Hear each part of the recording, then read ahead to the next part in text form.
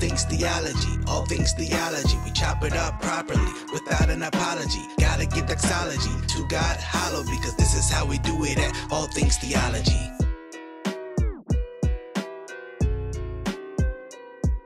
Yo, grace and peace, guys. Welcome back to an episode of All Things Theology where I'm your host, K Dub.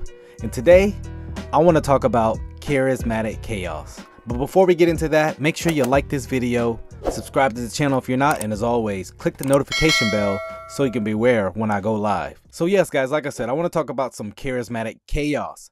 Um, types of ministries you should avoid, types of preachers you should avoid when you're looking for a sound biblical church.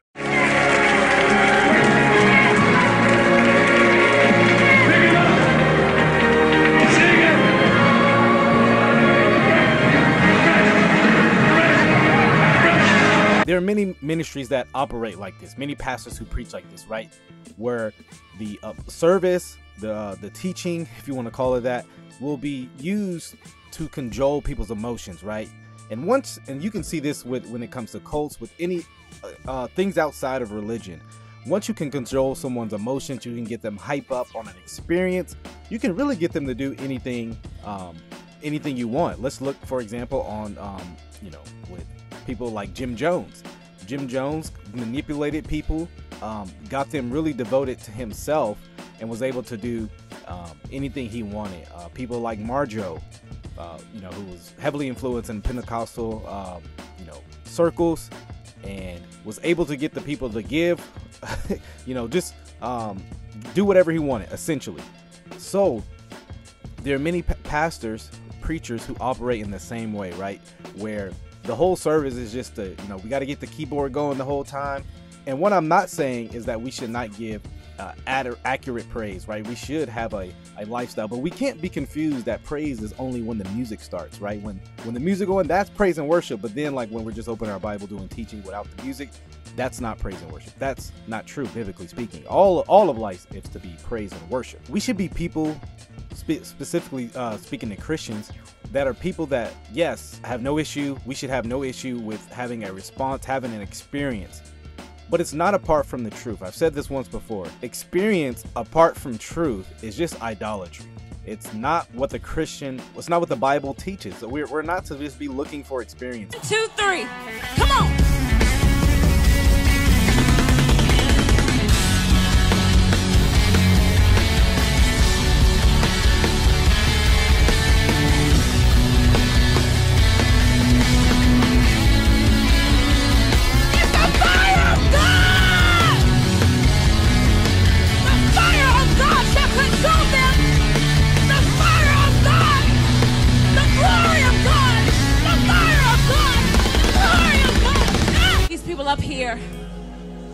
Some of them are entering into trances. Rather, uh, the, the Christian life in itself is an experience that we, we live in light of the truth that the Bible teaches. There are many people who want to live in this right, this fresh rhema, right? We want the fresh experience, right? As if the old uh, rhema is um, not enough. No, we are to the, the Bible should be sufficient in all things. You know, I, I don't need a new voice from God the old voice is perfectly fine. It's, sustained Christians for thousands of years.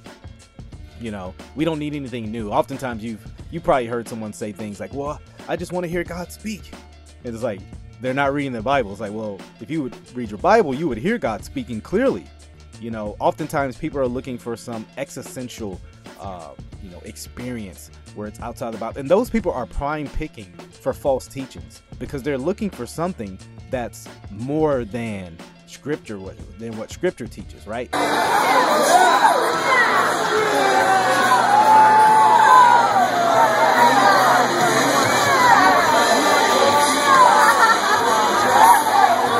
I want to read a text just to kind of get to what I'm saying. Isaiah chapter 30, verse 10 really gets to the heart of this. It says, Who says to the seers, Do not see, and to the prophets, Do not prophesy to what is right speak to us smooth things, prophesy illusions. And honestly, that is what the that that can be summarized with the culture at large and, American Christianity.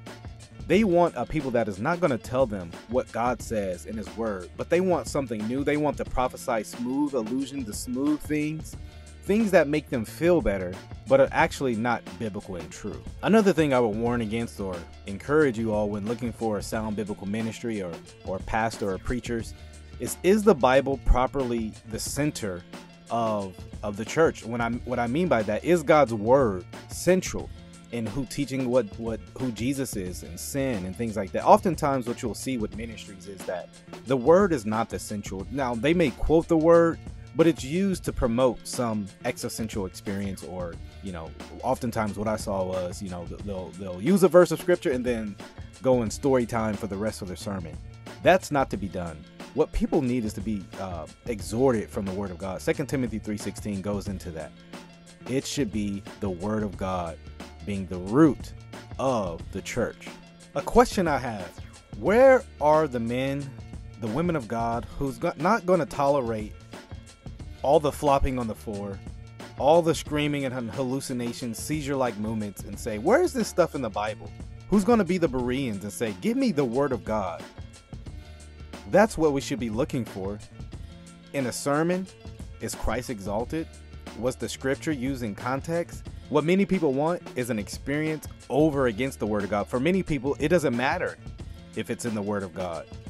They, they want to feel, you know, uh, feel better you know, they want the encounter with God outside of Scripture. And we should be men and women who do not tolerate that.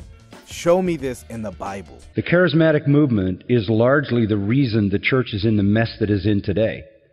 In, in virtually every area where church life is unbiblical, you can attribute it to the charismatic movement. In virtually every area. Bad theology, superficial worship, ego, prosperity gospel, personality elevation, all of that comes out of the charismatic movement. And I've often said, if these signs and wonders did still exist, do you think they would be given to people with bad theology?